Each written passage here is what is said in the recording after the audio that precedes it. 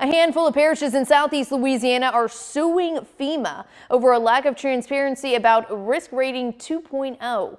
WGNO's Brittany Dixon reports this comes as flood insurance rates are starting to rise. FEMA's Risk Rating 2.0 looks at each property's flood risk, determines how close a property is to water, how often it floods, and the cost to rebuild.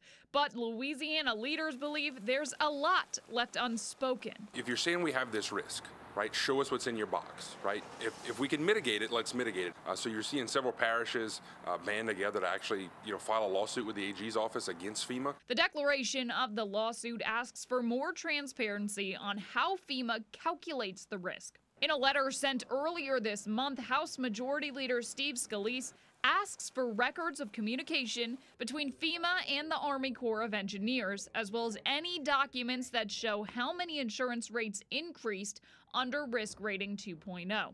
It's something Scalise promised to fight for when he was reelected last fall. We've got to reform that program and make FEMA at least be accountable, show us how they even get their data. I don't think they're using accurate data. Lafourche Parish President Archie Chaisson says his team is willing to put in the work if it helps lessen the burden on his constituents. If it's higher levees, if it's bigger pump stations, if it's bigger culverts, bigger drainage infrastructure, then we'll do it and lower the rates on our residents. As hurricane season creeps closer, he claims the parish is starting to do some of that to prepare. We've gotten some pre-position contracts to make sure we have more pumps, more more bigger infrastructure, more generators that we can bring in should we need it uh, if we have another Hurricane Ida. As far as rate hikes, he's asking homeowners to be patient. It's very hard from a, as, a, as a local elected official to have to look back at a constituent at Rouse's on Sunday after church and be like, I know, you know, my flood insurance jacked up, you know, you know, double too. Our homeowners insurance doubled on a personal level as well. So I get it, and, and we're doing everything we